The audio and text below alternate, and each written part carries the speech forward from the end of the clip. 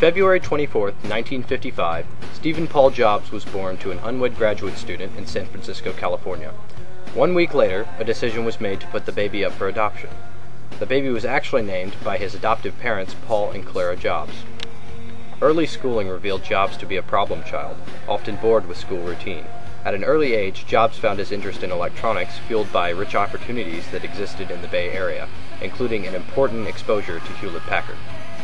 During high school, Jobs met the future co-founder of Apple Computer, Steve Wozniak, who at the time was working at Hewlett Packard. Out of respect for his birth mother's wishes, Jobs enrolled at Reed College in Portland, Oregon after finishing high school. He quickly realized his overwhelming interest in electronics and promptly dropped out of college after only one semester. He returned to the Bay Area to start a job as a technician at Atari Incorporated, riding the initial wave of enthusiasm for video gaming. Jobs and Wozniak regularly attended meetings of the Homebrew Computer Club, founded to make computers more accessible to everyone. Wozniak had created a computer for his own use and demonstrated its capabilities to the Homebrew Club members. While Wozniak only had the vision of a hobbyist, Jobs saw business potential for Wozniak's handmade circuit board. Jobs convinced Wozniak to become his business partner, and Apple Computer was founded on April 1, 1976. Jobs felt that there was a market for an assembled computer, one that would allow users to go beyond hardware design in order to explore programming. This vision led to the birth of personal computing when the Apple II computer was released in 1977. The Apple II computer was a huge success for Jobs. During its production lifespan, over 2 million units were sold, and it became the standard for personal computing, particularly in the educational market. The Apple II was extremely popular in businesses after the 1979 introduction of VisiCalc, the first software spreadsheet program. In December of 1980, initial public offering of stock in Apple Computer made Steve Jobs a multi-millionaire. I was worth um, about over a million dollars when I was 23, and over $10 million when I was 24, and over $100 million when I was 25. Um, and it wasn't that important.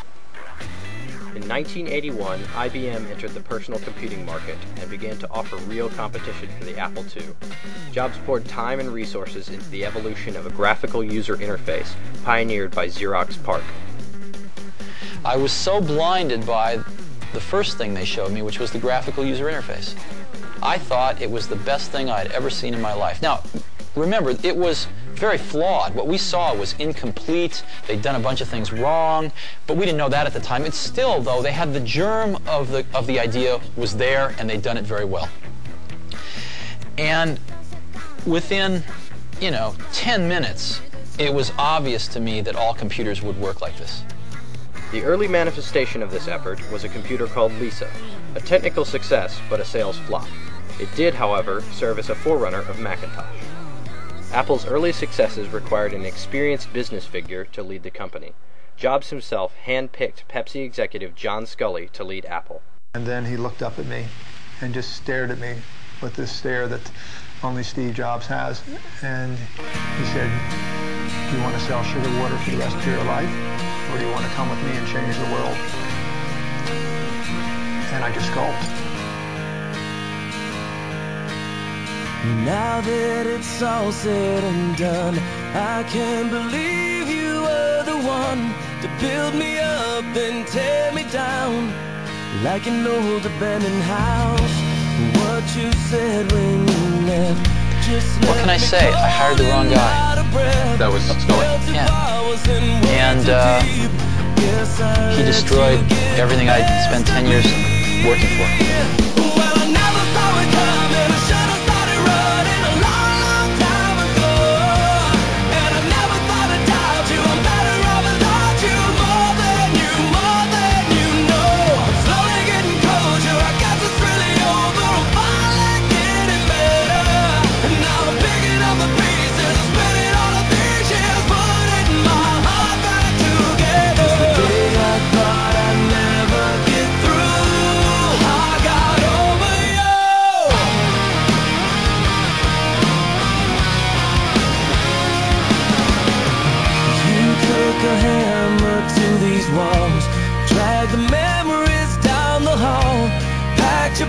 bags and walked away.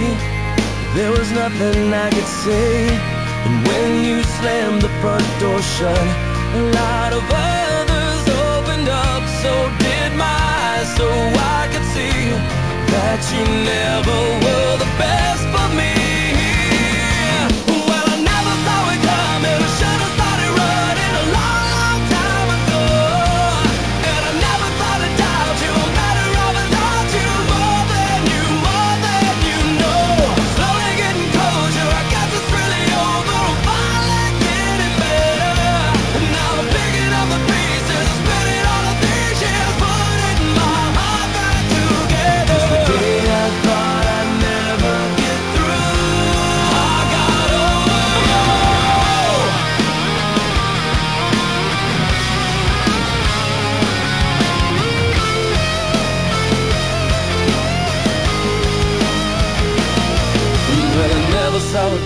coming. I should have started running a long, long time ago.